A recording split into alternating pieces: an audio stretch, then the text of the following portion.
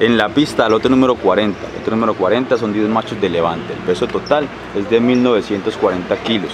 El peso promedio para cada uno de ellos es de 194 kilos. Procedentes de Puerto Triunfo. La base es de 6.500 pesos.